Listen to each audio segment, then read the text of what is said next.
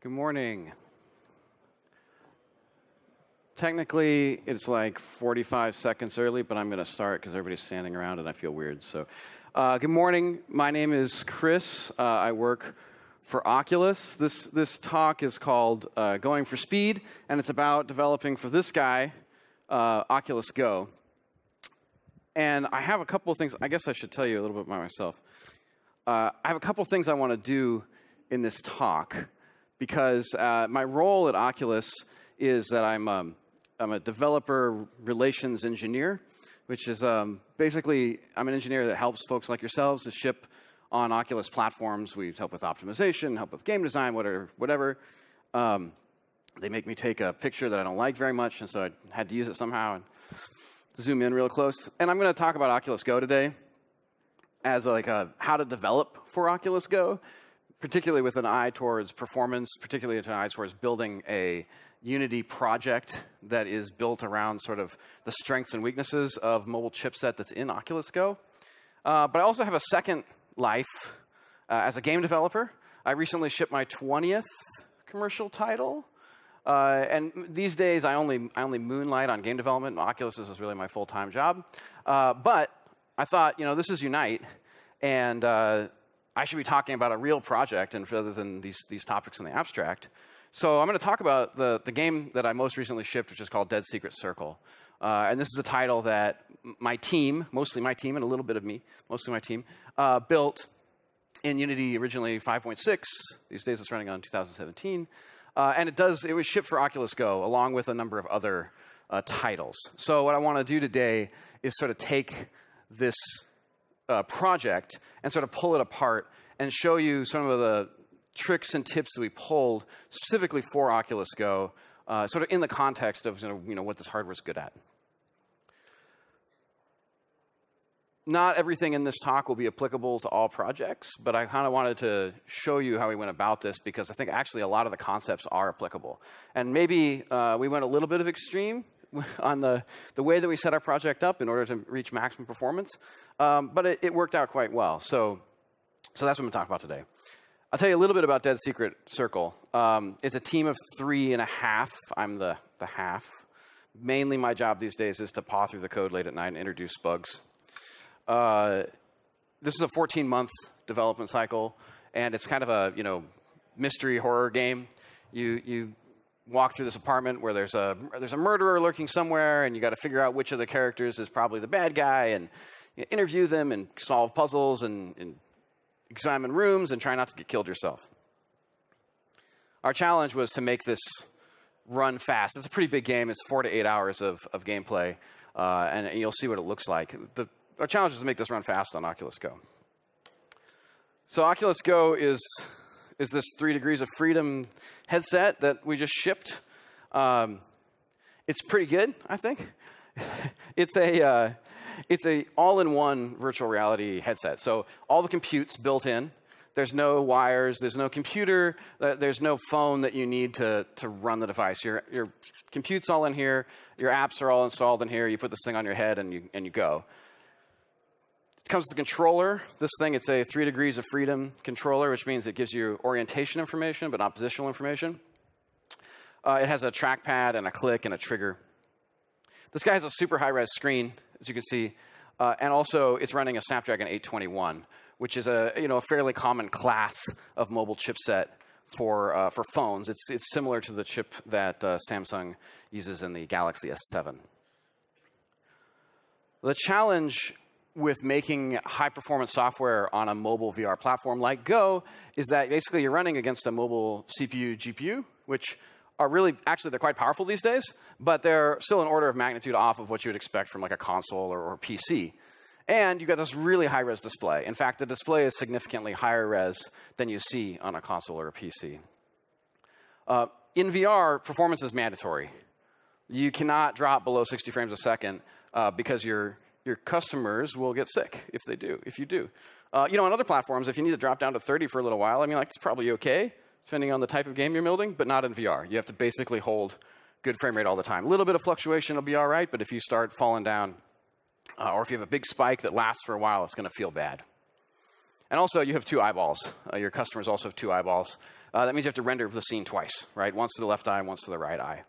So these are pretty significant uh, hurdles to performance because they all, they all incur a pretty significant performance penalty right out of the gate.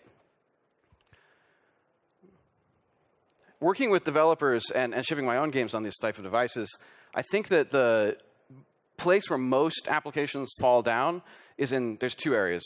One on the CPU side is, is draw calls, and the other on the GPU side, it's actually filling the pixels. And I'm going to talk in depth about both of these topics today. I could just tell you like what the solutions are. That's easy, right? Like, hey, just do these things, and everything will be fine. You can reduce your draw calls, you can reduce your pixel fill. Um, I think this is a less useful slide because it's easy to say these things, and it's actually hard to set up your Unity project in a way that, that does these sort of from the ground up. So let's talk about implementation. I'm going to start with draw calls. Uh, so everybody in this room has probably dealt with draw calls, but how many people know what a draw call is? It's pretty good. Pretty good. All right. So a draw call is a command to the GPU to draw a mesh. Your, your, your game engine, Unity, is saying, hey, I want to draw this table or this chair or something. And in doing so, it actually has to submit some information. It has to submit the, the, vertices itself, it has to submit a texture or any other arguments to the shader, it has to submit the shader program. And then the driver has to do a bunch of work. The driver has to take all that state that's been submitted and it has to match it to the vertex stream. So um, like for example, the uniforms in your shader have to match up to your vertex stream somehow. And basically, there's some, some format conversions and stuff that happen in the driver at that point before it goes down to the GPU. And that's why draw calls are essentially a CPU cost, is because you're spending time on the CPU to format this data on its way down to the GPU. Uh, and when we talk about optimizing draw calls, what we're actually trying to do is reduce the total number of draw calls in the scene so that we have fewer times that we spend the cost to set the state or alternatively, try to set the state once and then share it across as many draw calls as we possibly can. Because once the state's been set, subsequent draw calls are actually pretty cheap. So if you look, this is a screenshot from the frame debugger. Who is not, anybody in the room not using the frame debugger? Good! The frame debugger is like the best part of Unity 5. I really like it. Uh, if, even if you're not optimizing for draw calls, you should be looking at the frame debugger and understand how Unity puts your scene together. But I have two different shots of this frame debugger here. One is the, on the left, is a basically an unoptimized scene, and on the right, it's, it's, it's post optimization. And you can see on the left side, you know, it's basically just draw an object, draw an object, draw an object, draw an object. It's all independent draw calls. And there's a 419 of them, which is a lot. On the right side, this is actually rendering the same scene. The output is exactly the same, but we're down to 32 draw calls, and that's because we have these static batches in there. And basically, what that means is Unity's been able to take a bunch of our mesh, a bunch of our objects, and stick them together into a single big mesh, bind that, bind its state just one time, and then draw a bunch of little objects out of it. Uh, that's significantly faster. So, how do we do this? How do we accomplish that sort of efficient batching?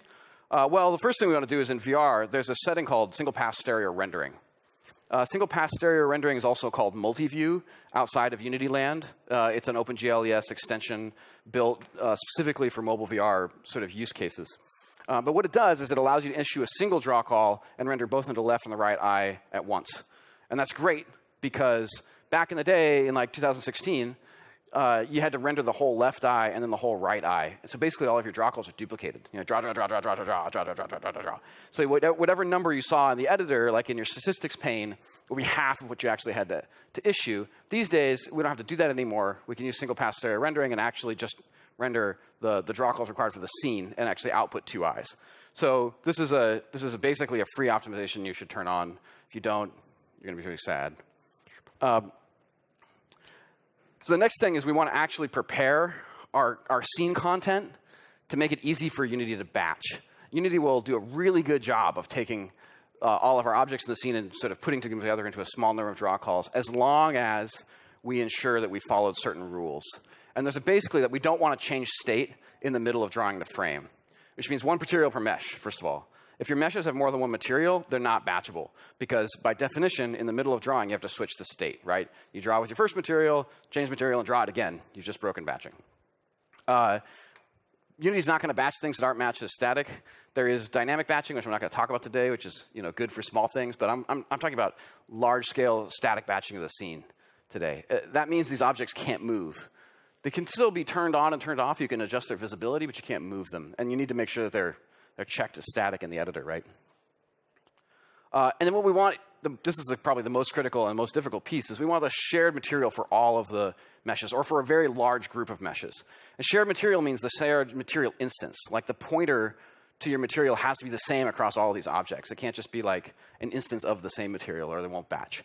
So for example, if you call renderer.material in your code, that the first time you do that, it actually instances the material object. It, it, allocates a new material and gives it back to you. And now you've broken batching because you just changed the pointer that's associated with, the, uh, with this particular mesh.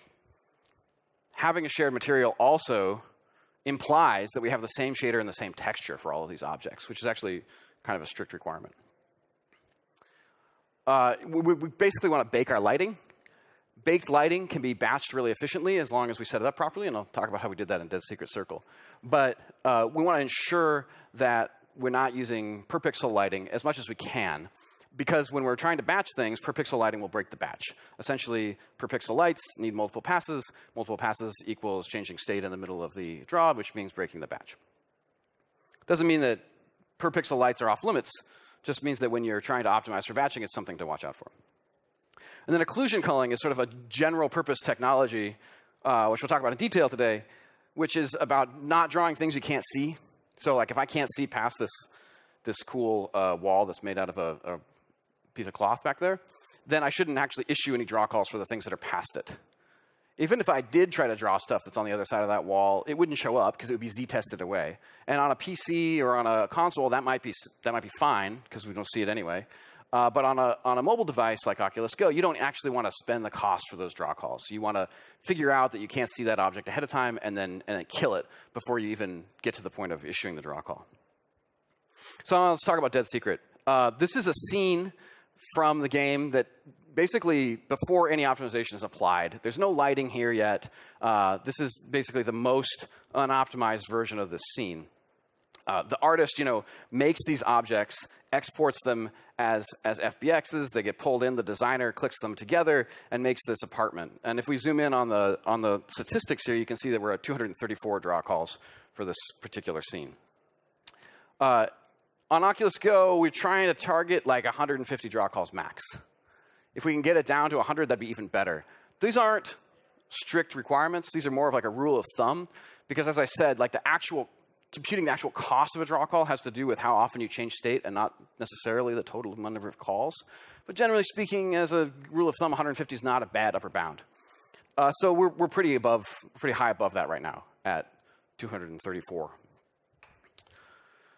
So the reason that we have 234 draw calls is that all the textures for all the objects in the scene are unique. You know, I've got a chair texture, and I've got a, a, a, texture for the pillow that is on the, the couch, and I've got a texture for the light, and a texture for the walls, and the, you know, the artist has built it this way, right? They've, they've made the art. Uh, my art director, Robot Invader's named Mike. He builds almost all of the art. He builds the art, and he submits, you know, he gives me a nice 512 by 512 texture along with the mesh, and it looks great in the game, but now it doesn't batch because all of the textures are separate. Uh, so the, the solution to this, the, the usual solution is to atlas our textures, which is to say, like, take all of the textures in the scene, click them together into some giant big texture, and then modify the mesh to point into that big texture instead of having its own little texture. Uh, and, and, in previous games, we did this by hand. Like, I actually forced Mike, the artist, to make his atlas textures and do the UVing himself. Uh, and that works, and it, and is effective at, at making your batching faster, but it's a pain in the butt for the artist. And also, it makes it so that um, you can't really move your objects around, right? Once you have textured your objects to an atlas texture, by definition, they're sort of tied to the objects that are also in that atlas texture. So if I want to take this light and put it some other completely different part of the game, uh, it's going to bring this giant texture with it because it happens to be some little tiny piece of this texture. So for this game, we wanted to do better, and what we did is we built a, a level processing pipeline uh, that automatically atlases all of the textures in the scene. So it, it, starts with a scene that looks like the one I just showed you, which is essentially the, the normal sort of unoptimized version with a bunch of individual textures. And, uh, you know, kind of hit a button, it's an editor script. And it creates a new scene. It just basically copies the scene into a new file, sets that as the current scene, and then goes through all of the mesh and, and adjusts the, the UVs to point into this new texture and generates an atlas texture out of the specific textures that are in that scene. So we end up with uh, you know, a new scene that has a single texture that looks like this. If I can't fit it into 14096, it might generate multiple textures, but you, you kind of get the idea, right? Uh, the, the, algorithm, by the way, for packing textures is not very complicated. I didn't know it. I looked it up on the internet. Um, Unity also provides a texture packer uh, API. I had some some complaints with the way the Unity's work, so I wrote my own. But you could you could do this any way. If you're going to write this pipeline, it's actually not that complicated. Uh, then the next thing we do once we have once we have our scene that has been generated with these Atlas textures is we want to bake the lights, and we want to bake the lights into as few light maps as possible. And Oculus Go has a lot of memory and a lot of texture bandwidth. So we're going to bake into these really giant, uh, this is a 4096 by 4096 light map. Uh, and the reason is that I want to change light maps as infrequently as possible. Light maps are like a secret argument to your shader. There's actually a light map index in your renderer that you can look up. And when you render with like a Unity surface shader, that index is implicitly passed to, as an argument to the shader. So if your if your light map changes, for example, you've got multiple light maps in the scene, uh, and you need to switch light maps in the middle of drawing the scene in order to in order to draw the next object, you're going to break batching because that light map index is one of the things that is is different between your, your, your meshes. So we want to ideally have a single light map for the entire scene, or uh, if we can, it's just as few as possible. So we render these really massive light maps. It takes forever. Once we've done that, you need to do, a really good job of making everything static, or sorry, putting everything together into a big old combined mesh as long as we've marked it static. So basically with those two things, like the being careful about the light mapping and then atlasing our textures and marking our objects static, we're able to get Unity to sort of produce a scene uh, or sort of a collection of mesh that's, that's quite efficient. Uh, and if I go back to this scene, you know, now you can tell it looks better. It's got lights, it's got shadows, it looks, looks like a proper game scene. Uh, and also, it's a lot simpler. We're down to 32 draw calls from 230. Um, this is our basic approach. This is the approach that I decided upon for this game to try to have a level, have like a level asset creation pipeline that wasn't really hard on the artist, but also generate uh, levels that were, were quite efficient for, for the target hardware you don't necessarily have to build this like whole level pipeline like this. I mean, there are other tools out there that would help you do things like this. Like, uh, for example, I've used one called Meshbaker, which is a which is an asset store uh, tool that you can buy, and it'll atlas your textures and it'll jam your mesh together. One of the things that um, the, one of the reasons I didn't do that is I actually want to continue to use frustum culling as a way to cut vertices out of my scene. So one of the common sort of mesh-based approaches is to say, well, I've got these like five objects, and they're all made with different textures, and I just want to bake them down into one big thing. I could take this whole room and bake it down into one giant mesh. Uh, and it would do the atlasing for me, and it would come up with something that's maybe you know one draw call to execute. The problem with that is that that, that object, that whole room, is going to have this big bounding box, and it's almost always going to be in the frustum, partially because you're going to be standing in the middle of it for half the time. And that means all those verts are going to be submitted to the GPU every frame, whether or not you can see any of it. What I like about Unity's static batching system, instead of, instead of sort of you know, actually baking the verts together into a big mesh, uh, is that it can actually draw subsets of its big mesh without drawing the whole thing. So if I want to draw these windows, so I'm looking at the windows, then I can draw them out of that big mesh. But if I turn away and look away from the windows, you know, the, the, the vertex buffer that, that Unity generated will still be bound, but those particular windows, you know, they won't, they won't be drawn. So this seemed pretty good. It seemed like I had the right idea. I made our apartment look pretty good. Uh, you know, and then we started looking at more complicated scenes. So this is a hallway. It doesn't look complicated, this is, again, it's before lighting, it's before any optimization. It's basically straight out of the art tool. Um, it doesn't look complicated, but it's like 2,800 draw calls. And I was like, I don't know what's going on with this hallway. Why is this 2,800 draw calls? But then I was like, yeah, I got a button for this now. I'm going to hit the button and like fix it. And so like it did all its thing and atlas the textures and it, it lit everything. And I came back three days later and lighting was complete. Uh, and it was down, hooray, to 500 draw calls. 600 almost. Uh, see, look, we saved 2,000 draw calls by batching. Woohoo! Except that my limit is like 150, right? So, I mean, what the heck? This is a hallway with like some junk at the end of it. Why is it 600 draw calls? The answer is this is actually part of a massive level. Uh, this level is so huge I can't really tumble around it in the in the editor with at, at frame rate. Um, it's it's it's the whole apartment. This is the entire like most of the game takes place in this level, and then for this particular moment in the game, you can go to any of these rooms, and so they're all loaded. And what's happening is we're sitting at the bottom of this hallway on the first floor, and the frustum doesn't know where walls are, so the frustum is basically just extending out through whatever walls we have and picking up any objects that might fall within it and deciding to render them. And we don't see them because they get z tested away at the at the end of the pipe. But at the beginning of the pipe, we're still issuing draw calls for them, and that's why there's 600 freaking draw calls. So, so this is what occlusion culling is for, right? In theory, we should be able to apply an occlusion culling system, which will go through the whole scene and figure out like what you can see from any given point. In fact, technically speaking, uh, if you've worked on this type of system before, most of these are potential visibility set systems or PVS. That's, uh, you know, from this point in space, here's the things that I can potentially see, and so I'm going to include in the set of things that I might draw. Whereas the stuff that's like on the other side of the wall, like I probably can't see, so I'm just not going to include those. Unity has one built in. Uh, it's based on a technology called Umbra, which has been around for a long time and is a very well well known technology. So my first approach was to you know go to the little window and go to the occlusion culling tab and pull that up and hit hit bake and see what happens. Um, and, and, you know, the result was like the, the render looks the same, like the scene looks the same, but there are fewer draw calls, right? There's 451 now. So it, it did a pretty good job of, uh, of cutting some draw calls out, but nowhere near what I actually expected to do. This could probably be improved by tuning the values that you get with uh, the occlusion culling interface that, that Unity provides.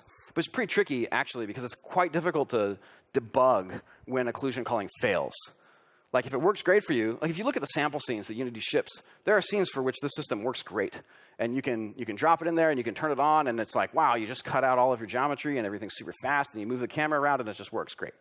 Uh, if it doesn't work great the first time, which in my experience, particularly if you're inside a room like, like with boxes, you know, walls on all four sides, uh, tends to be harder for it to deal with. It's hard to debug. It's hard to understand, like if you set up the, the settings incorrectly, or if you have, uh, you know, you know, your meshes are not properly built or you've got some little hole you don't know about. And the challenge is as you increase the granularity of the occlusion culling, you're also increasing the CPU time at runtime that it requires to compute what's visible and what's not. Um, and then that kind of sucks, right? Because now you're now you're either trading CPU time to issue draw calls for CPU time to figure out which draw calls you shouldn't issue. It's not great. So rather than trying to figure this out after we tweaked it for a month or two. I just gave up and, and wrote my own. Um, it's pretty easy to write an easy, a simple occlusion culling system. In fact, the most common ones are just portal systems where you say, this is a room. When the room is visible, everything in it's visible. This is a hall. When the hall is visible, everything in its room is visible. I wanted to go a step further than that because we have a lot of spaces that aren't, aren't exactly rooms, but they, you know, they occlude things, but they don't have doors, for example. So, what I did is I, I, made a system where you set cells up in the world, and I go to each of those cells and I compute what you can see from that cell. And what I mean when I say what you can see is it's really just a list of mesh renderers. What I get out of that is just a list of the meshes that are visible from this scene, and I just, assign it to the cell. And at runtime, I just figure out which cell the camera's in, and then I'm like, oh, you're in that cell? Okay, the following things are, in, are enabled, and all other mesh is disabled. And that's the occlusion culling system. The tricky part uh, of this is actually deciding what is visible from a given point in a cell. Uh, and there are a lot of different ways to do that. I'll tell you my, my solution. Uh, my solution was to render panoramas from inside the cell using a replacement shader that tints all the mesh a unique color. So basically, I go through the entire scene, I assign a unique color to, uh, to all the meshes, they are stored in some lookup dictionary somewhere, so I know what they are. I render a panorama, and then I can walk the pixels from this output image and do a reverse lookup of the color to find the objects I could actually see. So I'm like, oh, magenta is the crown molding. I see there's a magenta color here. That's crown molding.mesh. Add that to the list. And like, oh, little, little blue is the transparent door window. Okay, I know what that is. Add that to the mesh. Um, what's cool about this is it's pixel perfect, right? It can only, it'll only include the things that you can see. I ended up doing a panorama, which is just why it looks real weird. I mean, it's not made for human consumption. It's just an algorithm that goes and looks at it. But a panorama rather than like a cube map, because a cube map will give you the same pixel density for both the floor and the and the ceiling, as well as you know sort of the XZ plane. And generally speaking, I don't have anything on the floor and the ceiling. It's like a floor or a ceiling, where all of the stuff that happens kind of happens right out here. So I wanted more pixel density in here, and so I use this panorama instead of a instead of a instead of a cube map. Uh, and rendering a panorama like this is a junky panorama. It doesn't matter for the algorithm. I just sort of render a slice, move the camera, render a slice, move the camera, render a slice. Uh, you know, in order to make this work, it turns out the designer has to go through the world and like lay out these cells, uh, and it and it means that we want you know, different granularity of cells for different areas. The, the granularity of the occlusion culling, like its, its accuracy at any given moment, is a function of the size of the cell. So as, as you are in space, you know, in a VR headset, you can move your head. Even on this device, even though it's only three degrees of freedom, uh, we, we provide a little bit of a neck model. So when you tilt your head, you know, the, the actual position of your head moves only slightly. Uh, so you don't really control the camera any longer which means that, that you, you may need to make some areas more, more precise than other areas because the player can basically go wherever they want. Uh, and particularly when I use this on like a Rift or a, a Six Degrees of Freedom headset, you know, the player can really go wherever they want. So the, there's some interface. The, the designer goes in and, and lays out these cells, uh, subdivides them in whatever way he thinks is most important. Generally speaking, there's, again, less resolution up and down and more resolution in the XZ plane because that's where stuff tends to live. Uh, and then at runtime, it's order one to find what uh, cell the camera's in because it's just some division based on the size of the cells. Okay, so we do all this junk. Uh, and now we have the same scene. It looks the same, but hooray, 54 draw calls. Uh, and if we go look at the actual scene in the editor, we can see what's been turned on. And it's really just this hallway that you can see, right? This is the same level that I showed you a minute ago with had 20 zillion objects that I couldn't tumble around. Uh, now we've turned almost all of those off, and we're just looking at the hallway that we happen to be in right now, and that's the output of this algorithm. Whether you use this algorithm or use any others, like PVS is a very well researched topic. There's a lot of other ways to do it. My particular approach has some drawbacks as well. What I liked about it was that it was order one lookup at runtime, uh, and that I could compute all this stuff offline. But there's some every once in a while you'll come around a quarter and see a little pop. You know, there's some there's some drawbacks as well. The main message that I wanted to leave with you is that if you uh, if you don't do this stuff, you could end up issuing a lot of draw calls that you didn't intend to issue. I mentioned earlier that we had built this sort of uh, level processing pipeline to do the atlas texturing. I realized that I could just build this occlusion computation straight into that level processing pipeline. So now it takes, it takes the you know, source scene, it stitches all of the mesh together with an atlas texture, it bakes the lights, and then the last stage is it'll actually compute the occlusion. And once we did that, I figured out that we could actually change our, our level creation workflow really significantly uh, by using multi-scene editing. Anybody use multi-scene editing for anything? A couple people? Yeah, it's like not a super well-known feature, and it has a lot of drawbacks. So it's when I first read about it, I was not sure why you would use multi-scene editing. Basically, since Unity 5, you can open up multiple scenes at the same time, and they they're all open together, and all the objects are in the same shared space. There's a lot of like side effects though, like nav meshes can't cross scene boundaries, and light mapping doesn't work, and I don't know. There's some there's some issues with it, right? But I realized if we use multi-scene uh, editing, we could actually treat our scenes like Photoshop layers, and we could stack them stack them on top of each other. So we have a layer that's like the base geometry, and then we might have a layer that's like the lights. And the reason that we would do that is that we might have two versions of this level. We might have one at daytime and one at the nighttime, and all my lights are going to be baked anyway. So if I have a the, the you know base geometry and I just swap out the scene that describes the lights, I can actually produce two different you know variants of that level with different lighting.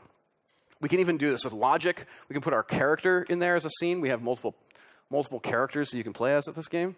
And, and basically, what happens is you start with a whole bunch of scenes that are, are managed independently, and then the tool can sort of bake them down into a single scene.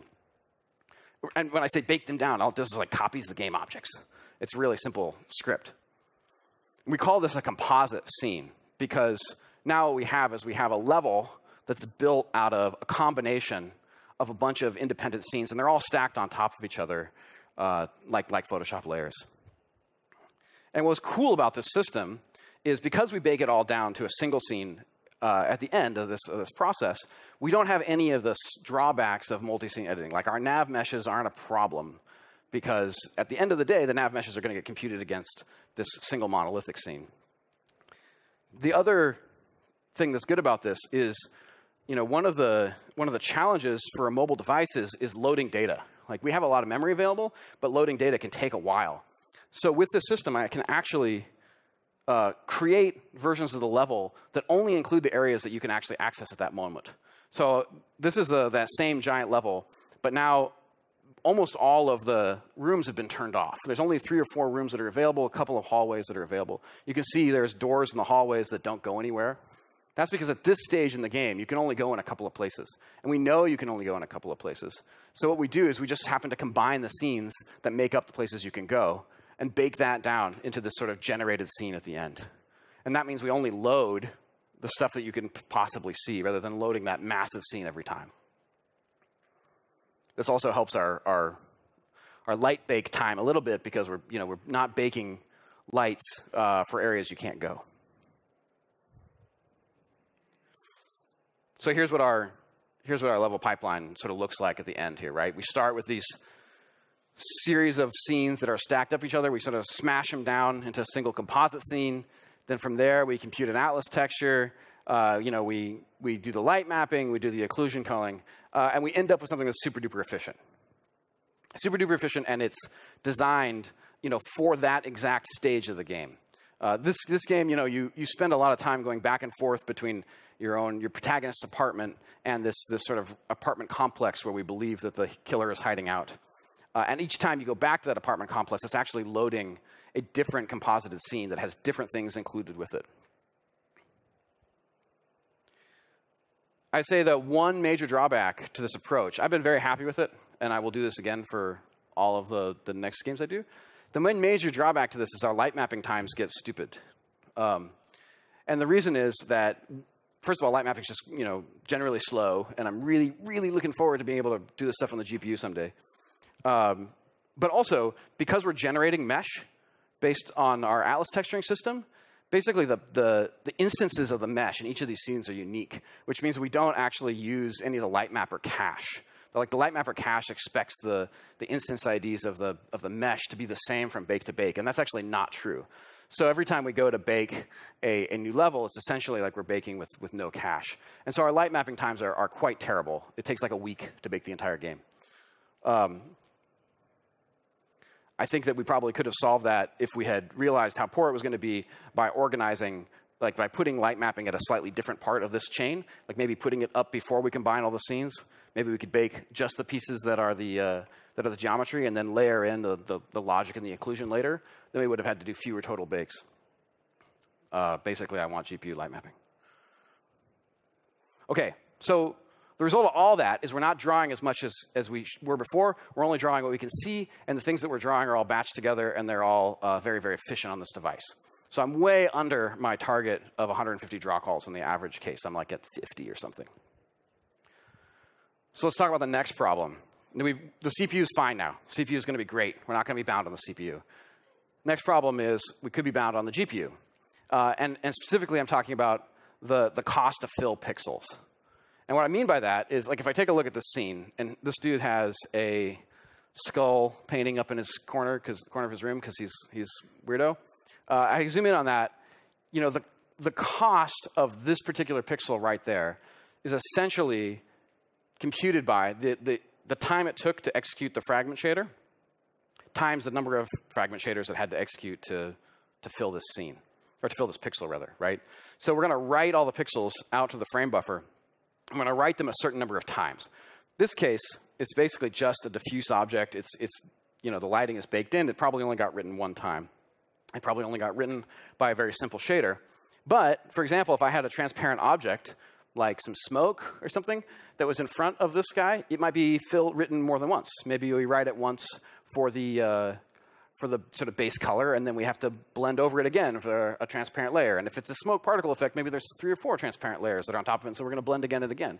Or if I'd done real-time lighting, you know, we probably would end up blending this pixel multiple times, or specular, or things like that. Anything that would would uh, require multiple passes over the pixel is going to incur a cost, both to sort of compute the fragment shader, whatever it is that's in your in your fragment shader, uh, and also the, to just write it back. The reason this matters, I mean, this matters on other platforms too, right? This is the area that PC games, I think, get, get hit with pretty hard, um, is that we are rendering a crap ton of pixels. Like, between our left and our right eye, Dead Secret Circle renders to 1280 by 1280 eye buffers, which means it's rendering to these square textures that are 1280 by 1280 each, and there's two, one for the left and one for the right eye. That's like 3.6 million pixels uh, per frame at 60 frames a second, and it is that's way higher res than your TV. So we're, we're, the reason that we care about fill cost is not because like mobile GPUs are slow.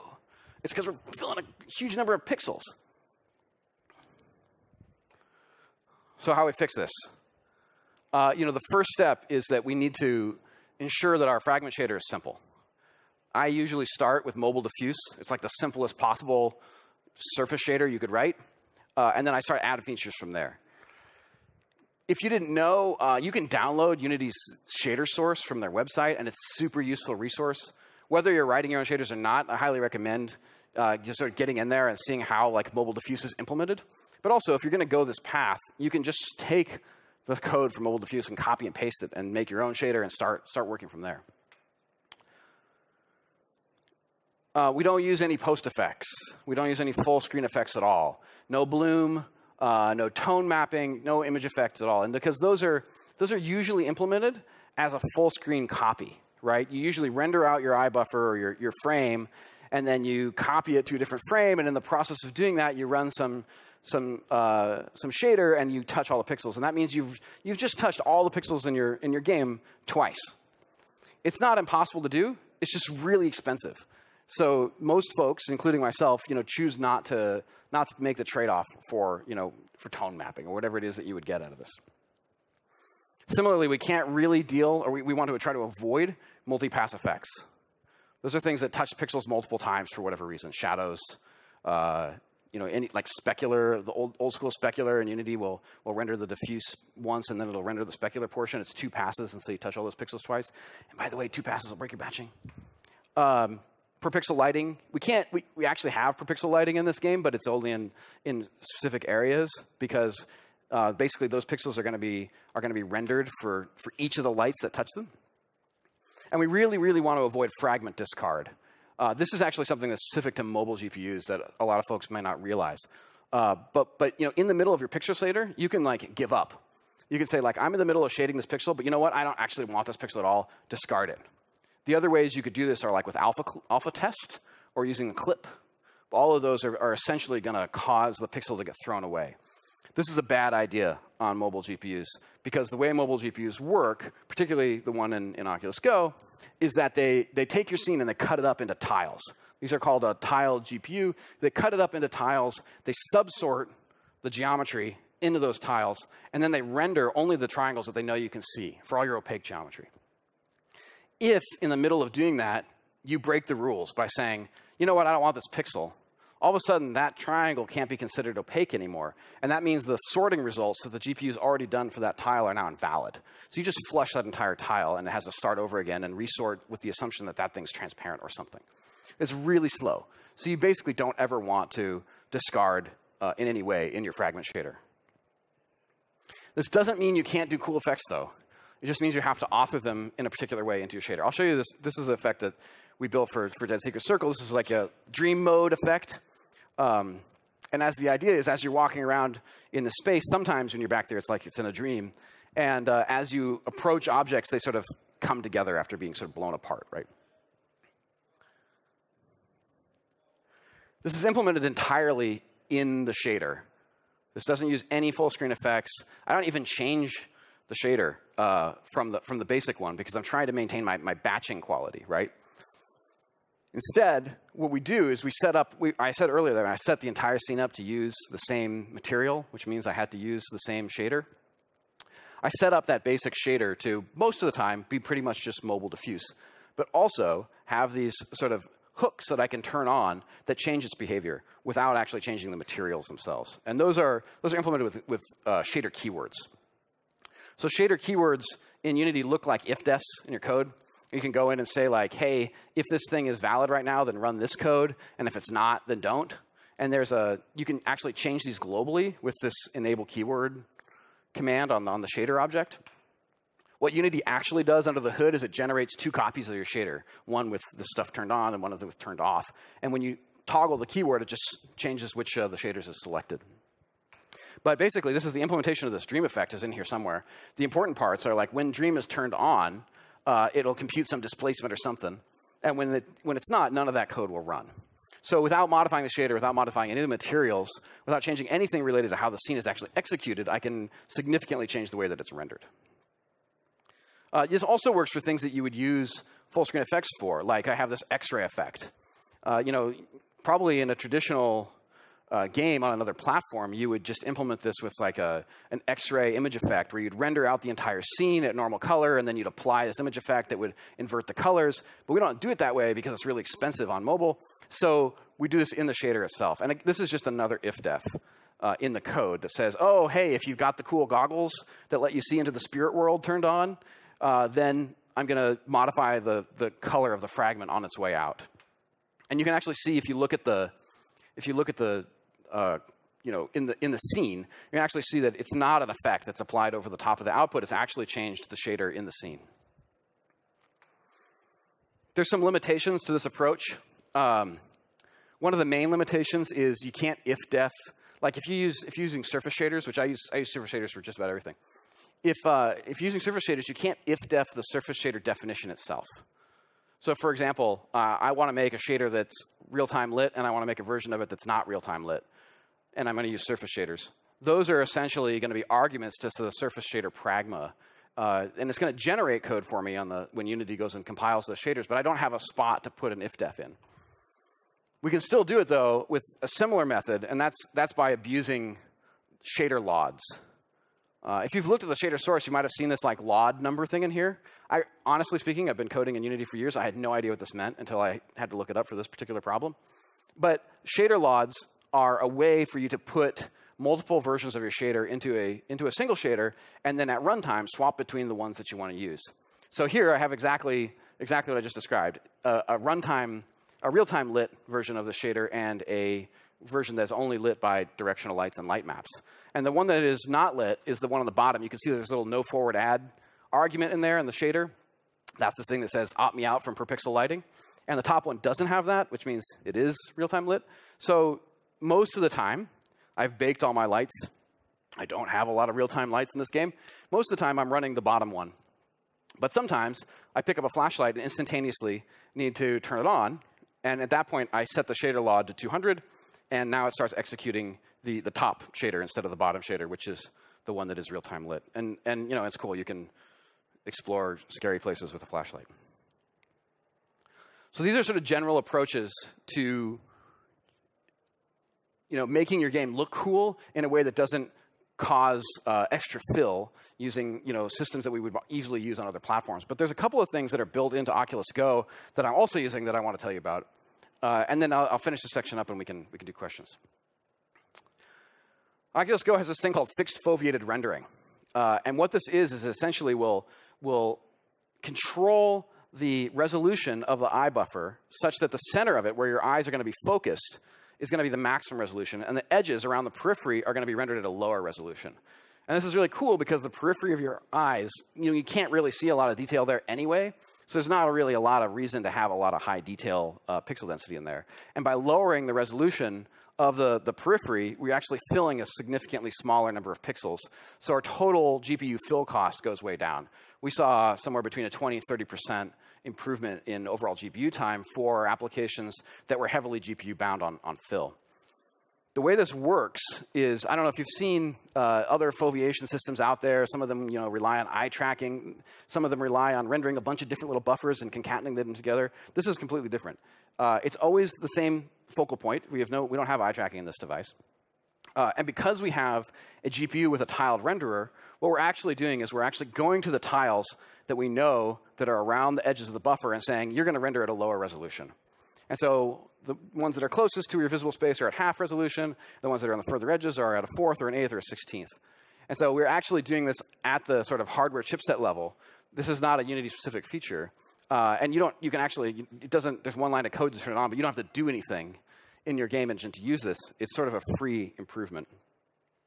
It does incur, uh, you know, some visual artifacting, but it's really, really hard to see. Like this, this is the distorted version of a eye buffer, and this is at fixed foveated rendering on as maximum amount.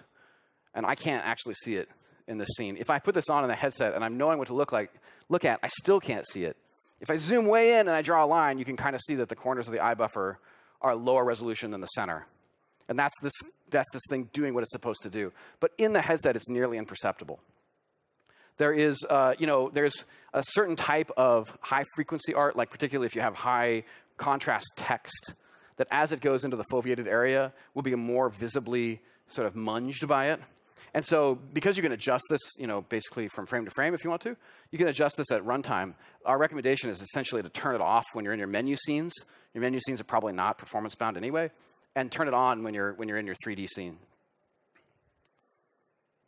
This uh, feature allowed us to go from uh, 1024 with 1024 eye buffer, which was our initial target, all the way up to 1280 to 1280 without actually taking a performance hit. One last, one last Oculus Go specific feature. Uh, Oculus Go has this cool system called dynamic throttling. And what it does is it adjusts the performance of your CPU and GPU by, by adjusting like the speed at which those chips run uh, dynamically and automatically as your software runs. So on a mobile headset, we care about battery life, and we also care about the total amount of heat that we're generating. Uh, Oculus Go's very good at venting heat, but we still like to clock the CPU and GPU down anytime we have the opportunity. We also don't want to impact your frame rate because, it, like I said at the top, like if you're not making 60 frames a second, uh, you are not going to have a good experience. Your customer's not going to have a good experience.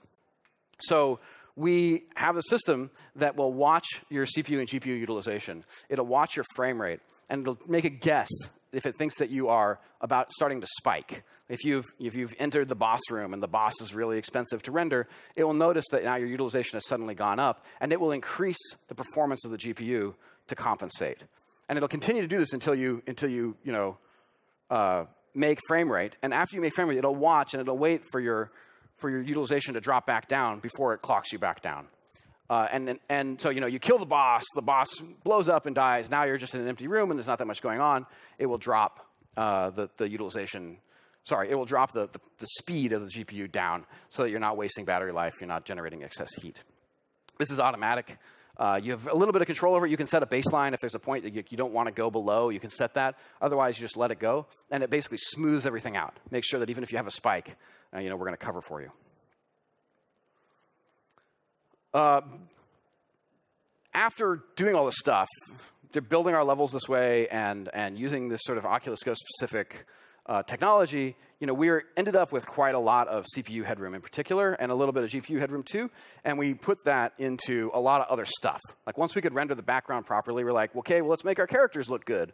Uh, and let's have spatialized audio. Um, I thought I told you to get out of here. You know, like, hey, it would be pretty cool if uh, you know you could talk to these guys and their Real faces would animate. That's old Rose. Why? You friend of hers? Or it would be cool if we could have a mirror uh, that you could walk by and see what you look like. And these are things that, you know, we're able to do because we have headroom. And we have headroom because we were efficient with the way we set up our scenes uh, because, because we were sort of deciding, trying to design against this mobile target, we ended up sort of overachieving on the needs of the target, and now we had space to sort of add in other cool things. I have like two minutes, and I want to talk about one last thing. I mentioned real briefly that load times can be an issue on mobile headsets. In particular, loading, the, you know, Oculus Go is an Android device, so when you build for Oculus Go, you're building for uh, Android as a target, and your output is an APK loading scenes out of an APK on Android is really slow in Unity. It's particularly slow compared to other platforms. But you can get around that and improve your scene loading time by pushing all those scenes into an asset bundle. I don't actually need an asset bundle on any other platform. But for this device, what I did is I built this, this script that just goes through all the scenes. At, you know, I say like, oh, I want to build my Android build. And it goes through all the scenes and moves them into an asset bundle, builds the build, builds the asset bundle, and then moves all those things back into the main, the main scene. So I'm in, in the editor, it appears to be a monolithic application. When I make a build, I ended up with two files, the, the asset bundle and the, uh, and the APK. And as long as you use like the chunk-based compression um, asset bundle type, you can load that really significantly faster than you can out of the, out of the APK proper. So for some of those really large levels, we were able to, to really reduce our load times by doing this. It's also important that you use ASTC texture compression. You shouldn't even consider any other type of texture compression on this device. Uh, and and in, specific to optimizing scene load times, make sure that your uh, audio is all not set to decompress on load. Decompress on load is actually quite slow for this device. So if, uh, if you need audio, you want to be compressed in memory or, or streaming if it's long music or something. Great, so it runs really good on Oculus Go. We shipped, the device is selling pretty well. Uh, I get launches all over the world pretty soon, and it's available online today. The last thing I wanted to say is that in addition to Oculus Go, we also have this new headset uh, that we've been talking about called Santa Cruz. Uh, Santa Cruz is, is similar to Oculus Go, although it's significantly more powerful.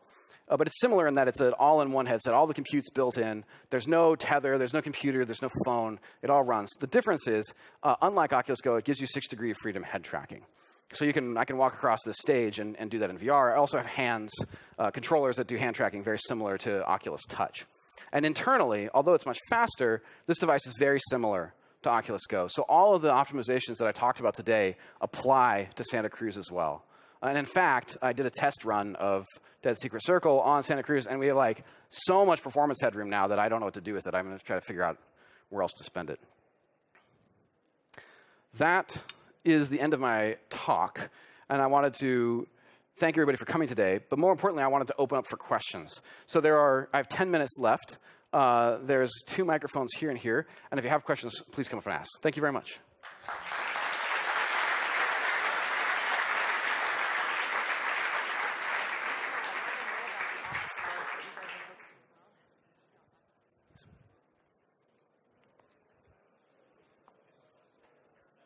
Yes, here. Hey, uh, I've got a question about the um, occlusion algorithm that you've got in the pipeline. Sure. Could you use that style of algorithm for something with transparency in the scene? Yes. Yeah. So the, the transparency is tricky, um, but basically the way I do it is I actually do multiple passes. Okay. For a transparent object, you want to know what's behind it, but also where the object itself is. Like if you have a window, you need to both capture the pane of the window and whatever's on the other side. Okay. So I do a pass where all of the transparent objects are opaque, to capture the objects themselves, and then I do another pass where all the transparent objects are are gone, are just hidden to capture the things that are below. Thanks. And then I just union those lists. Oh, right. Okay. Thanks. Here? Hi. Oh. Whoa. Uh, thanks for the talk. Uh, I was wondering, because this is all on a static scene, pre-built, is there anything you can do if you have to dynamically load the content and for example, a map or stuff like that? Do you have any tips or tricks on that side? Sure. I mean, you can dynamically load object maps that have already been pre-built this way. Yeah. Like as long as you've baked all of the the assets down, you could dynamically load this. I would say that dynamic loading, like in particular, like async scene loading, is quite slow on mobile devices. So if your goal was to make like a big streaming world where you're going to like pull these objects in as you go, your frame rate's probably not going to survive uh, just because the I/O cost of loading those scenes is really high. But there's nothing to stop you from taking something that's been baked down like this, saving a little section of it out to an asset bundle, and loading that dynamically. Thank you. Mm -hmm. Hi, thank you for the talk. Uh, what about anti-aliasing technique, which you are using in your project, and maybe you are using uh, upscaling? I'm sorry. So, what was the question? Uh, what technique of anti-aliasing do you use? Oh, so anti-aliasing is, I should have mentioned that. Anti-aliasing is nearly free on this device. Uh, I'm using 4x MSAA. It's provided by the hardware. It costs almost nothing. You can go higher, uh, but I don't think it's worth it. If you go to 8x, it would be more valuable to increase the, the target of your, so of your this is buffer. standard uh, technique, hmm? yeah? Yes. Uh, do you use upscale technique that are provided in Oculus SDK? Uh, no, because it's not supported on mobile. That's actually going to be a type of technique that it requires another big copy because it looks like a full screen effect. Uh, and those are generally going to be slow. So what we would recommend is that you just use the standard effect that's built into the hardware. It looks quite nice. Uh, but it uh, also runs on Qualcomm chipset. It will run. No, I, I, mean, you could totally use it, but it's going to be expensive. It's going to be significantly more expensive than the built in version because you're going to end up doing a blit as part of that. Okay. Thank you. Over here? Nope. Okay. Question over here?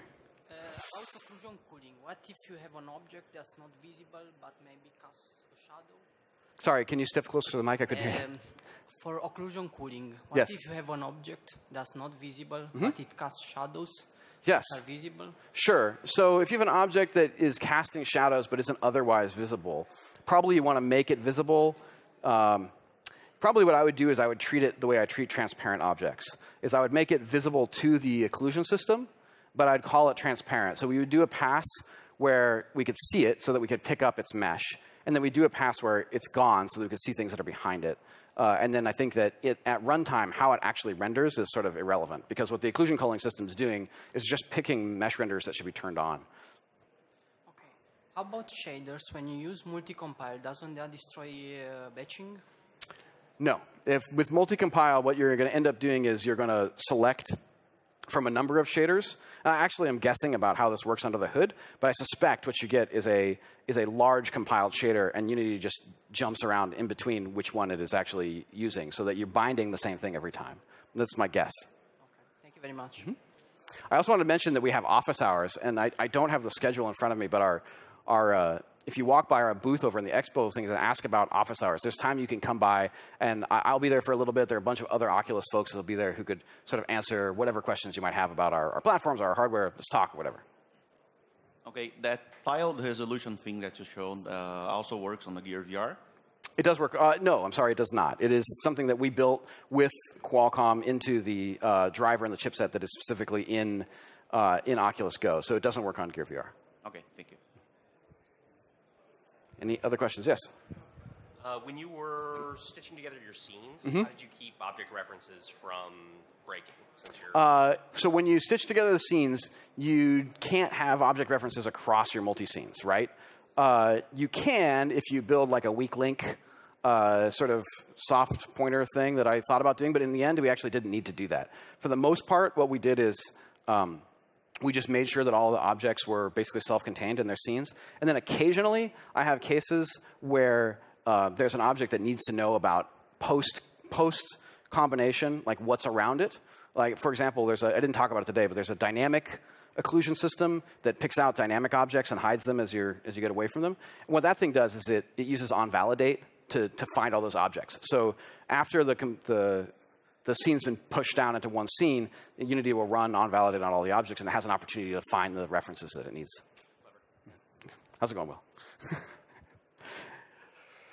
Any other questions? Yes. Is there a way to check the actual performance of, the, of a, a program or a scene on the actual device? Yes, absolutely. So the device itself, you can connect the Unity profiler to. Uh, we also provide some profiling tools on our website. There's a there's a HUD you can put in here to watch your frame rate and stuff in real time in the headset. There's also a tool you can watch on your uh, on your PC.